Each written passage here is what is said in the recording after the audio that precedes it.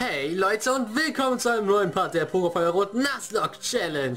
Im letzten Part sind wir hier in Lavandia wieder angekommen, denn wir haben im letzten Part das äh, Team Rocket Hauptquartier, ja, äh, sagen wir mal ausgeräuchert. Wir haben jeden Rüppel darin besiegt und den Boss sogar konfrontiert und ebenfalls geschlagen. Den lieben Giovanni, Freunde. Und dafür haben wir jetzt das Silphscope bekommen und außerdem die VM Fliegen, die es jedenfalls ermöglicht hat, hier ganz schnell wieder nach Lavandia zurückzukehren. Und ich werde mal kurz wieder Pokémon austauschen und zwar äh, werde ich Levis Figur kurz reinnehmen und dafür äh, Dora wieder auf die Box verbannen. Man muss das übrigens genauso aussprechen. Dora! ja, wie dem auch sei. Wow, das Retardness-Level ist schon mal richtig hoch hier. In der Folge. Gut, Freunde, wir gehen in den Lavandia-Turm, in den Pokémon-Turm, denn durch das Teleskop können wir nun auch die äh, besessenen Geister hier erblicken und das wird ziemlich äh, interessant werden. So, welches Pokémon steckt da vor? Ich würde sagen Turtle, weil hier viele Geist-Pokémon sind und wir könnten Nebulak fangen. Werde ich aber nicht fangen, weil wir können es eh nicht zu Gengar entwickeln und ich habe darauf keinen Bock. Naja, selbst wir können die eigenwilligen Geister nicht identifizieren. Man benötigt das Seescope, um sie zu erkennen. Ich weiß, ich rede unglaublich behindert, aber ich, ich, ich spreche die Exorzisten irgendwie gerne so. Und wow, ist das hier plötzlich alles neblig. Krasser Scheiß. Ja, der Pokémon-Turm, Freunde. Der Pokémon-Turm. Und da ist direkt das erste wilde Pokémon. Das ist, wie gesagt, ein Nebulak, das ich jetzt einfach wegrotzen werde, weil ich es eh nicht benutzen werde. So, und wir haben hier ein Fluchtseil gefunden. Sehr gut. Oh mein Gott, sie hat mich gesehen. Richtiger Ghost. Krasser Scheiß. So, was haben die auch mal einen Blick drauf, Alter? Trutlinde. Du bist ja schon mit dem Namen fürs Leben gestraft. Trutlinde. Stark. So, Nebulak. Bams. Der Biss mit dem Schattenglas erfüllt seinen Zweck und Nebulak darf sich verabschieden. So, wir haben gegen Trutlinde gewonnen und sie erlöst, ja. Bedeutet, die Leute, die wir nicht äh, bekämpfen werden, die werden alle für immer besessen bleiben. Naja, das müssen wir dann wohl in Kauf nehmen. Nein, Spaß, weil wir werden ja natürlich alle plätten. So, du bist die Nächste. Verschwinde, böser Geist! Okay. Bis auf Wiedersehen, Nebulak. Der heißt Walburger. okay. In meiner Klasse, in, meiner, in meinem Pädagogikkurs ist auch eine, die heißt Walburger. Interessant, ich weiß. Richtig uninteressant, aber... Das ist meiner Meinung nach ein ziemlich seltener Name und ich finde es ganz lustig, den mir in einem Pokémon-Spiel zu sehen. Anastasia! Oh mein Gott, wir haben Anastasia aus Fifty Shades of Grey besiegt. Gott sei Dank. Wieder mal ein Gewaltakt gegen einen meiner Meinung nach wirklich sehr furchtbaren Film. So gehört sich das. Weiter geht's. so, du bist die nächste. Pokémon-Turm, Ebene 2. Ich verfluche dich. Das ist eigentlich total creepy, was hier abgeht, aber ich kann es irgendwie nicht ernst nehmen, ne? Ich weiß, ich bin ein furchtbarer Storyteller. So, auf Wiedersehen, Nebulak. Und noch ein Nebulak. Auf Wiedersehen. Gut, gut. Wir haben Biertippe. Ihr, ihr habt aber auch Namen, Alter. So, ein Elixier. Uh, lass mich in Ruhe. Ich denke ja nicht dran. Ja, Freunde, das wird jetzt eine ganze Weile so weitergehen, äh, wie wir die, die ganzen Exorzisten bashen und sie von den Geistern befreien. Wir haben einen Aufwecker gefunden, äh, kurz ein paar random Items hier einsammeln, die wahrscheinlich alle nichts bringen, aber yay, wir haben einen Superball gefunden, das ist doch auch was Schönes. So, was hast du denn dabei? Ein Geist! Weißbrot! Nein! So, Nibula, Level 24. Zeig, was du kannst. Oh, du kannst gar nichts. Schade aber auch. So, noch jemand hier, den ich vergessen habe?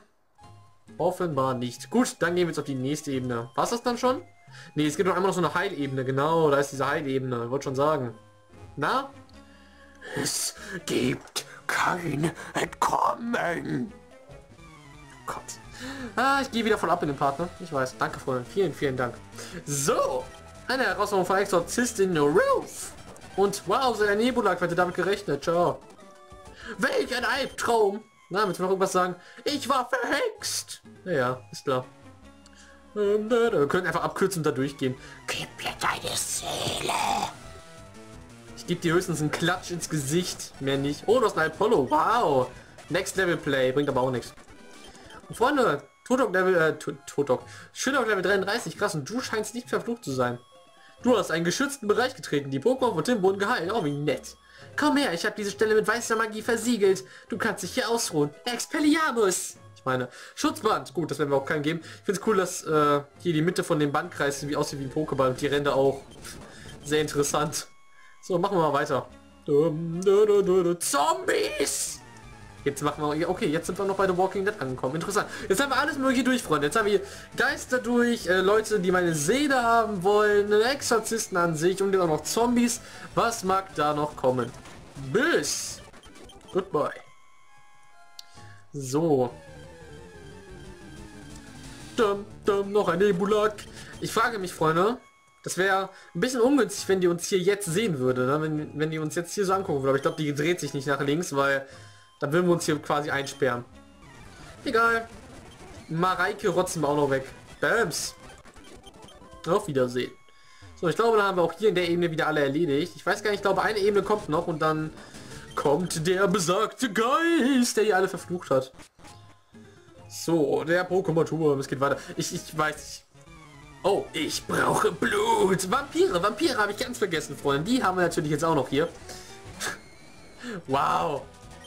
Ähm, ja, was wollte ich sagen? Ich, ich, ich mache die ganze Atmosphäre hier kaputt, ne? Ich weiß, es ist eigentlich richtig, soll richtig creepy sein und ich mache hier so eine Scheiße da draus. Ja, Freunde, ihr kennt mich doch nicht anders. Wir haben einen X-Treffer bekommen. Ich muss mal diese ganzen X-Items verkaufen, die werde ich niemals benutzen. So, noch ein Nebula. Level 19 ist gar nicht so übel, aber werde ich mir trotzdem nicht mitnehmen. Das ist bestimmt richtig praktisch für die Entwickler gewesen, wenn ihnen einfach mal kein Text mehr für die Textbox eingefallen ist. Einfach überall einsetzen.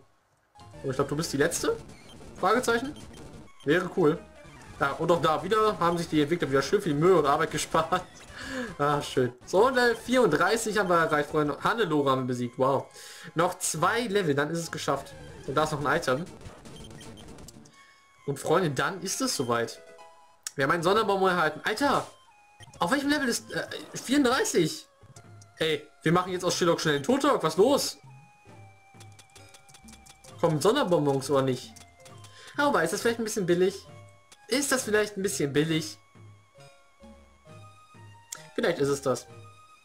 Nein, nein, nein. Shillock ist so ein cooles Pokémon. Das ist mein Lieblings-Pokémon. Das muss ich selbst trainieren. Das mache ich nicht in Sonderbonbons. Und jetzt, jetzt kommt's. Verschwindet! Boah, meine Stimme war richtig abgekratzt. Egal. Oh mein Gott! Der Geist taucht auf! Der Silphscope hat den Geist identifiziert. Oh mein Gott, der Geist war Knogger. Ich weiß gar nicht, kann man dieses Knogger eigentlich fangen? Ich glaube nicht, ne? Egal, wir haben auf jeden Fall eine Aquaknarre rein. Bims! Wow, die macht echt wenig Schaden. Energiefokus, okay. Das Ding baitet auf den Crit. Vielleicht bekommen wir den Crit jetzt, das wäre auch ziemlich cool. Booms. Okay, leider nicht. Und Kopfnuss. Aber tanken wir. Und kein Crit, das bedeutet auf Wiedersehen, Knogger. Goodbye. Turtle 31 EP. Der Geist war die rastlose Seele der Mutter eines Fragosso. Ihre Seele hat Frieden gefunden. Sie ist in das Jenseits zurückgekehrt. Oh, richtig cool gemacht, Freunde. Richtig. Der Pokémon-Turm ist wirklich einer meiner Lieblingsstellen. auch wenn ich jetzt das so richtig albern dargestellt habe, ja, aber es ist wirklich eine meiner Lieblingsstellen im Spiel. Da, da, da kapselt sich Pokémon einfach von diesem Kindern-Spiel einfach so ein bisschen ab und wirklich beschäftigt sich hier mit Tod und so weiter. Das finde ich wirklich sehr, sehr interessant. Ich will ganz kurz gucken, wenn ich schon aufgenommen habe. Äh, acht Minuten, okay, gut, dann habe ich noch genug Zeit, die nächste Etappe zu machen. Dums, der Pokémon-Tour.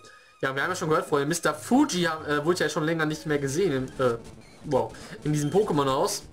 Und ja, Team Rocket ist hier vorne. Was mag das nur bedeuten? Ganz einfach. Mr. Fuji ist hier gekidnappt worden. Also Bash wird die Rüpel weg. Was willst du? Warum bist du hier? Ich frage mich irgendwie am... Ach, okay, die haben bestimmt ein paar Kopien vom Silphscope, nehme ich an.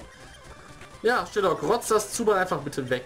Danke sehr. Wobei, ich könnte das eigentlich auch nutzen, um äh, Philipp noch ein bisschen zu trainieren, ne? Komm, machen wir das jetzt. Da kommt jetzt gerade so ein schönes Golbert rein, das will geschlagen werden. Bams! Und wow, wie es einfach ums Verrecken nicht reicht. Komm, bitte trifft jetzt nicht selbst. Selbstverständlich. Wie konnte ich es auch... Ich bin so naiv.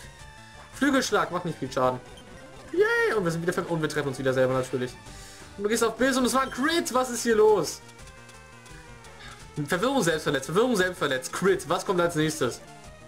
Super Trank. Ich will, ich riskiere hier aber nichts mehr, nicht so wie bei Mockingjay. Nochmal so, okay, wir sind immer noch... Und wir treffen uns schon wieder. Philipp, du bist dumm wie Brot. Tu mal etwas. Komm noch mal. Okay, sind wir verwirrt. Das ist unfassbar. Treffen wir uns auch mal selber? Nein, okay. Gott sei Dank. Okay, hätten wir das erledigt und nächster Trainer. Das werde ich dir nie verzeihen. Okay, soll mir egal sein. Das sieht eher so aus, als würden die ihn anbeten, als ob das deren Meister wäre. Da war so ein alter Knacker, der behauptet hat, wir würden Pokémon quälen. Willst du meine Meinung hören? Eigentlich nicht. Ich glaube, die wird schon niemand hören, oder? Nun gut. Du schickst Smogon in den Kampf. Da bleiben wir mal drin. Gehen wir Knarre. Auf Wiedersehen, Smogon. Okay, es reicht nicht mal. Okay. Alles klar, aber egal. Die Knarre wird dich rausnehmen. Auf Wiedersehen. Und was ein Traumato. Wir haben ja Schattenglas, Freunde, und Biss wird da guten Schaden machen. Reicht eigentlich zum Mann. Wir kommen leider auch kein Flinch und Giftwolke trifft bedeutet unser Shillock ist vergiftet und meine Kamera möchte mal wieder nicht fokussieren. Ich liebe es. So. Okay. Und noch ein bisschen auf Wiedersehen Traumato. So, das bedeutet, äh, Pokémon sind nur zum Geld verdienen gut. Halte dich aus unseren Angelegenheiten heraus. Boah, was für ein Hurensohn. Man kann es ja nicht anders sagen, ne? Aber wow. So, okay. Und der letzte. Du wirst niemanden retten. Naja, ich habe jetzt die Seele eines Knockers gerettet, um die zehn Mönche, die hier offenbar verhext wurden. Also bis, bis jetzt bin ich ganz zufrieden mit meiner Bilanz, doch? Aquaknarre, das war ein Crit, yay. Und das war ein Zubal, also Philipp muss wieder ans Werk, Freunde. Bams, auf Wiedersehen. Und ein Radfratz. Das darf dann wieder Turtle machen. Turtle braucht alle EP, die es bekommen kann. Und es reicht natürlich mal wieder ums Verrecken nicht. Bams. Und zu guter Letzt ein Radikal, das dürfen wir auch äh, im Alleingang bewältigen können. Remasse, okay, ich mache mir gerade ein bisschen Sorgen, dass gleich äh, der Hyperzahn Crit kommt, deswegen heile ich mich lieber mal kurz hoch. Jetzt ist es auch egal und mit einem Biss nehmen es raus und erreicht Level 35, Freunde, noch ein Level und wir haben ein wundervolles Turtok. Oh yeah. Du wirst nicht ungestraft davon kommen. Ja, naja, das werden wir sehen. Hey, Nebulok, was ist los mit dir? So. Hallöchen, Mr. Fuji. Äh, was? Du kommst, um mich zu retten? Vielen Dank, aber ich bin freiwillig hier. Ich kam her, um die Seele von Tragossos Mutter zu beruhigen. Die Seele des Knocker sollte nun in die ewige...